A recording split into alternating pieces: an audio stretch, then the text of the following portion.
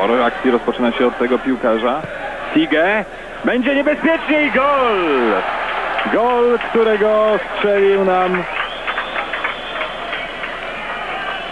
którego strzelił nam Oliver Birchow, piłkarz, który strzelił jakże dwie ważne bramki w finale Mistrzostw Europy. Wszedł tam w roli rezerwowego, kiedy Czesi prowadzili 1 do 0 i to on strzelił e, dwa gole dające Niemcom tytuł. Popatrzmy na tak.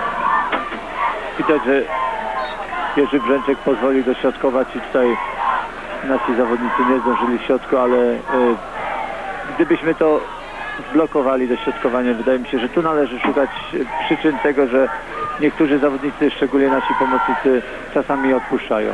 To decydujący moment, dośrodkowanie dokładne i potem czasami trudno w środku cokolwiek złapać. Proszę zobaczyć, jak to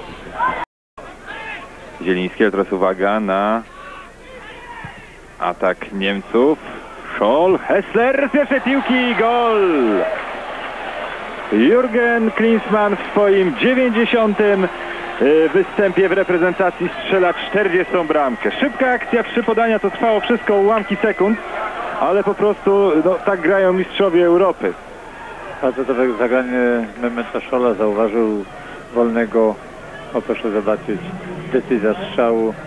No i Jurgen Klinsmann, który w drugiej połowie praktycznie niewidoczny, w decydującym momencie znalazł się tam, gdzie musiał być.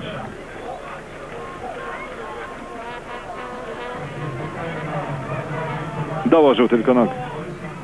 2 do 0, a zatem już ten wynik czy należałoby chyba uznać, uznać za rozstrzygnięty tego meczu, tym bardziej, że mm, też jakoś nie rzucamy się